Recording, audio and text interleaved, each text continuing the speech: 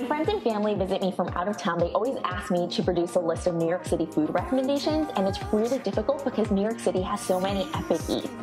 A supremely New York food that is often forgotten about are seven layer cookies sold in Italian bakeries throughout Staten Island and Brooklyn. These cookies have a special place in my heart because my mom was also a fan of them and she would always bring home a box of rainbow cookies from the grocery store and they would never live to see more than two nights in our kitchen. They also remind me of the almond drink that I used to have growing up that my dad would always make and this almond paste that we'll be using today tastes so much like that flavor. The anatomy of a rainbow cookie consists of seven layers, three layers of almond cake, two layers of jam, and two layers of chocolate.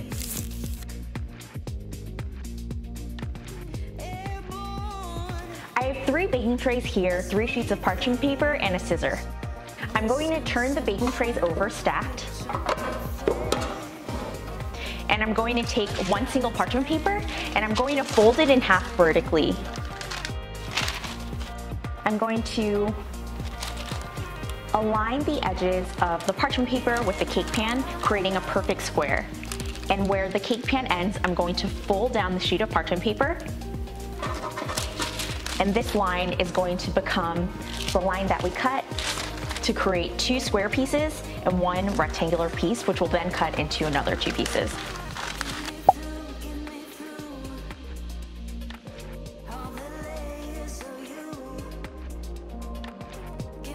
Greasing the entire inside of the cake pan, both the bottom and the side, with a light layer of butter, and this will serve as a glue, keeping the parchment papers that we put into the cake pan in place. And this will be extremely helpful and useful when you're spreading the dough inside these cake pans, preventing it from moving at all. So take your stick of butter, it doesn't have to be at room temperature, even cold butter straight from the fridge transfers really well and cover the entire surface area. And you just wanna make sure that you are applying it with light pressure Take your square sheet of parchment paper and put it on the bottom of the cake pan and you want to make sure that it is not too long. Any extra ripples will result in an uneven Italian cookie layer and you don't want that to happen. Take one of the rectangular pieces and place it on the side. And take the second rectangular piece and place it on the opposite side, covering the entire surface area inside.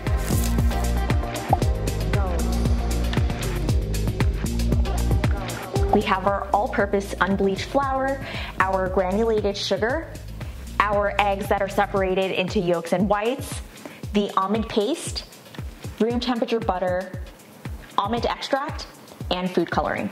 Almond paste is really dense, making it difficult to incorporate into doughs or batters. And if you add in big chunks of almond paste into your mixture, it could result in translucent yellow globs, which look really unpleasant after you bake them. And they will still be edible, but if you are coloring your batters with other colors, it will be a lot more obvious. One way that you can combat this is by breaking up each of these logs with your fingers into little tiny pieces and throw it into the mixture as it's mixing under the stand mixer. Another way is to take the time to grate each of these logs into a separate bowl and that is the method that I prefer although it does take more time. So we'll be adding our butter into this mixing bowl. You want to make sure that you are using a paddle attachment. This is the standard one that comes with the KitchenAid, but I bought one with a flex edge beater so every single time that I'm beating the butter, it reduces the amount of scraping that I have to do from the sides. Whenever you're beating something wet, it tends to collect at the bottom and the sides of the bowl, and you have to make sure you scrape it down at least twice in order to make sure that everything is thoroughly incorporated. If your KitchenAid comes with this wire whisk, I don't recommend using this for beating the butter because like the dough hook, the butter will only pass through the tines. We'll be using about three and a half rolls of almond paste and mine are tied together with a staples. So I'm just going to take my scissor and cut off the end. And then I'm going to insert my scissor slightly under the skin of the wrapper and cut off about an inch and a half. And I just want to expose only the end of the stick of almond paste. And this way I can have clean hands as I'm grating.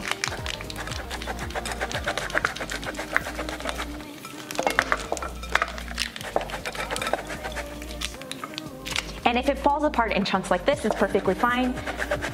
Just grab it with your hands and every single time you feel it getting closer to the grater, you just want to make sure that you collect the glob again. And grate very slowly so you're not grating your fingers. And my grater I've had for quite a while, so it's not too sharp where I'll cut myself. But if you have a brand new grater, be sure to be really, really careful. To start, I'm going to lift the head of my KitchenAid attachment so that there's enough clearance between the top and the bottom of the bowl. And I'm going to unwrap the butters and let them fall into the bowl. Since we lined our cake pans earlier, you can just discard these wax papers. Otherwise, you could keep them for another opportunity for when you're baking. There is a lot of butter left on these, especially when you leave it at room temperature.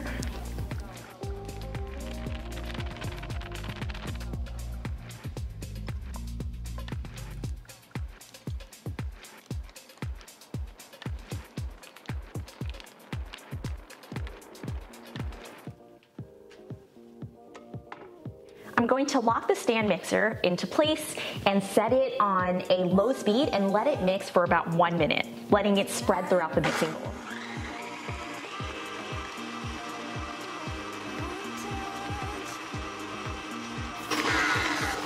Once it has spread around the mixing bowl, I'm going to begin adding in my sugar. And you wanna make sure that you're adding this in in a really gradual stream. So I'm going to start it on a low and add in my sugar very, very slowly.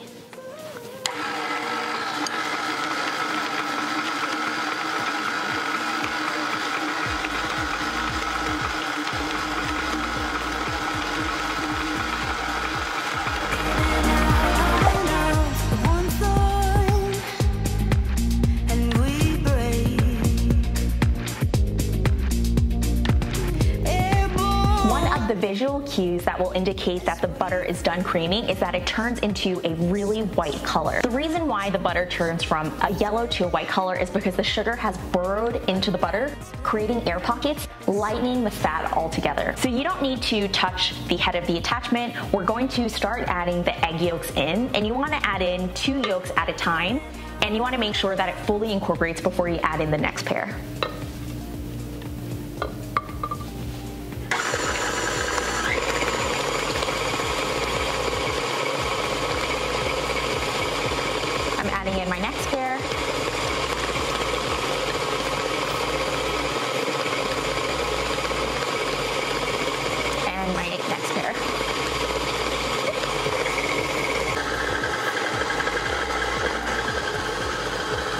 And as it's mixing, start adding in your pieces of almond paste.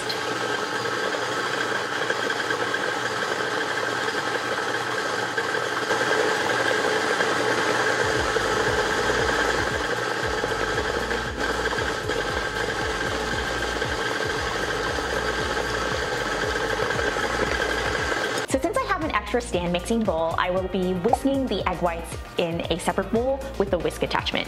And whenever you're whipping egg whites, you need to make sure that the tines and the bowl itself are really clean, oil-free.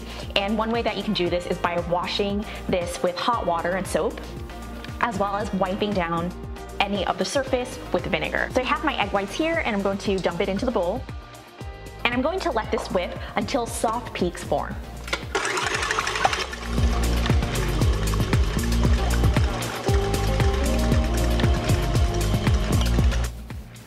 So take your spatula and add in the egg whites. And I'm going to split this up into about two or three sections. And this is a way of tempering the batter because egg whites is heavy water content. So I'm just going to mix it on medium speed for about 30 seconds each until the egg white looks fully incorporated and then add more egg whites in.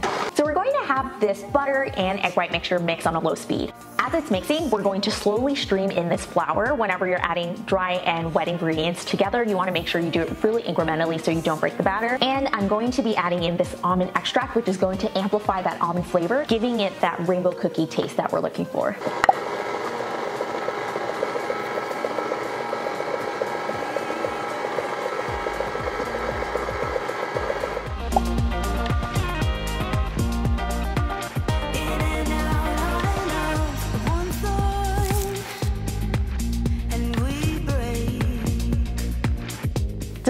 Cookie dough into three different portions representing the three layers of the almond cake that we'll be creating.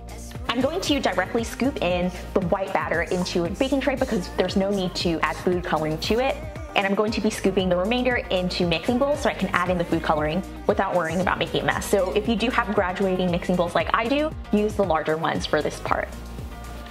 So ideally you want to use a cookie scooper, but since most of you guys at home may not have one, you can go ahead and use a one cup measuring cup.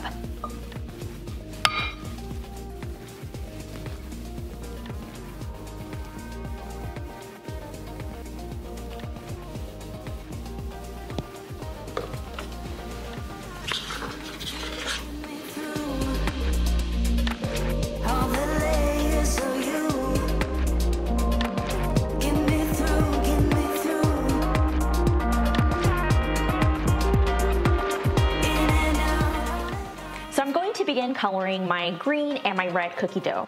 I'm using a gel-based food coloring. The ones that you find in the supermarket tend to be water-based, and I never like changing the chemistry of my batter, which is why I will always opt for gel. So I'm just going to take about half a teaspoon at a time, adding more if it's needed, but what we're trying to achieve is a really dark green color, and it's going to lighten after it bakes as well, so don't be afraid to go too dark. And every single time you scoop with a clean butter knife, make sure that you set it aside. I'm going to be using a clean butter knife if I need to scoop more gel into this mixture. So I'm taking an offset spatula and I'm going to mix it until all these ribbons of food coloring are completely incorporated.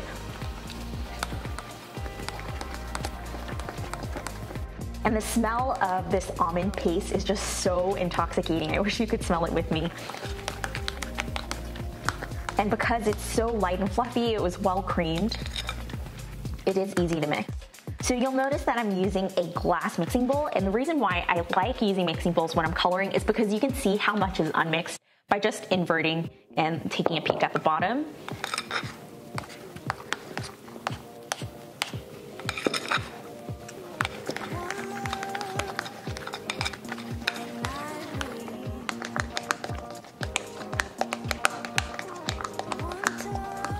That we've colored our cookie doughs, we're going to transfer each of these colors into a cake tray.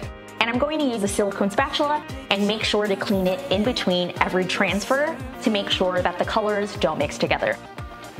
The texture almost looks like a bubble gum that has been chewed for too long. Make sure that you're cleaning your spatula in between scoops. The dough and smooth it out into the tray. And turn it every single time to make sure I'm able to bring the dough into the edges.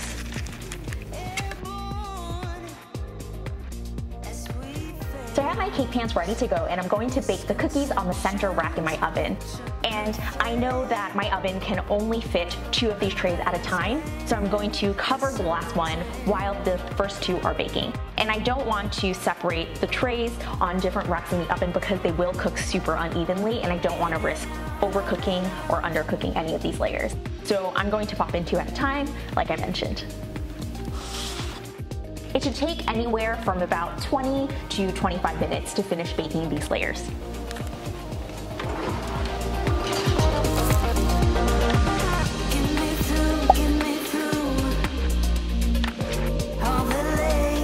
Been chilling in the freezer for close to 25 minutes and with 5 minutes of chilling left, I'm going to start melting my chocolate. I have a sauce pot here that is filled with sink water and don't worry about using filtered water, this won't be touching any of the food, it will be discarding after it's boiled. So I have chocolate that's in a glass bowl and I like to use glass over steel because I find that it's a lot easier to control in terms of temperature. I'm going to pop it over the pot and let it come to a boil.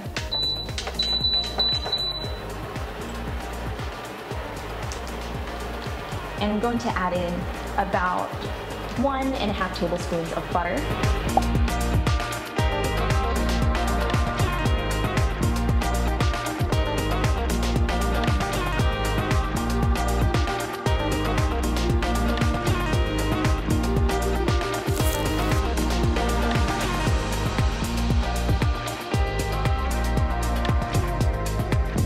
Now it's time for assembly, I'm going to place a parchment paper on my work surface and cover it with a cooling rack.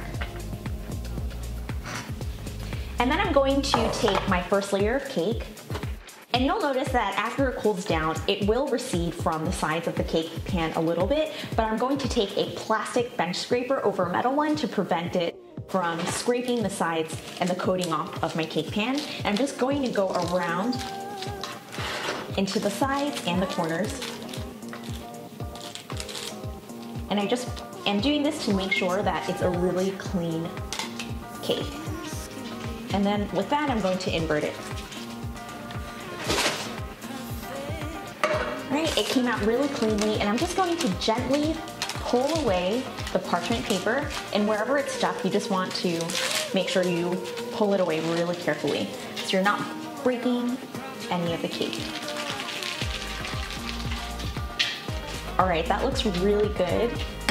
I'm going to take my apricot jam and I'm going to be putting about one fourth of a cup onto each layer. And if you want, you could put double the amount of jam here to create beautiful layers. I believe that cakes should look as pretty as they are on the outside as they do on the inside once it's sliced because that will be pretty much the main thing that the person that's eating it will see. And you can spread it with a spoon or an offset spatula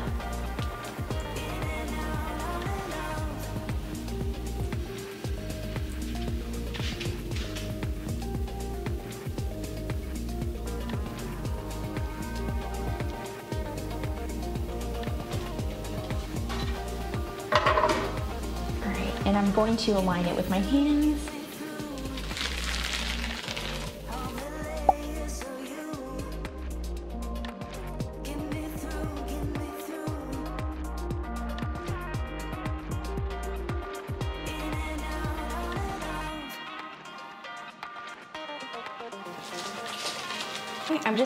A scoop of the melted chocolate ganache and I'm just going to place it on top of the first layer and I'm just spooning it with a spatula. And you wanna make sure that you're working really fast with this chocolate because it will stick on and be difficult to maneuver around. The chocolate has been scooped on. You can leave it as is, but I'm going to make a clean surface by combing it with a cake comb. Right, I'm just going in with my second layer of chocolate and I want this one to fall over the sides really naturally. So I'm just putting extra chocolate onto the very top of the cake. And then I'm going to smooth it over with a clean bench scraper. I'm just going to let it drip down the sides, creating a beautiful waterfall of glossy chocolate.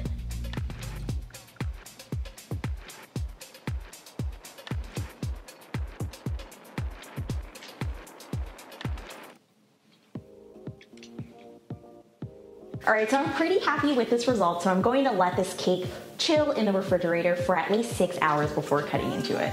You wanna make sure that you let this cake rest because the flavors will amplify over time.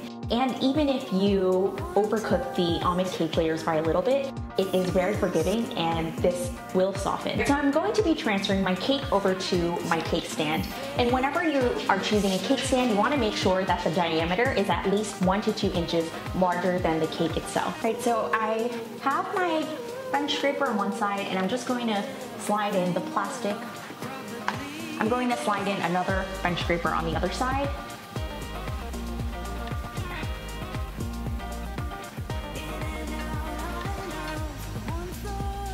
And you want to make sure that it's right in the middle before you take off the last bench scraper. Perfect. And don't worry about getting chocolate on the sides or the cake stand itself. We can just wipe that off. And that looks pretty good.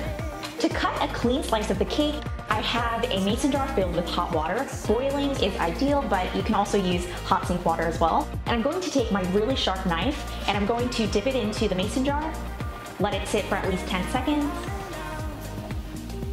and wipe it off, making sure to wipe off all of the water. And with that, I'm just going to start cutting into the cake.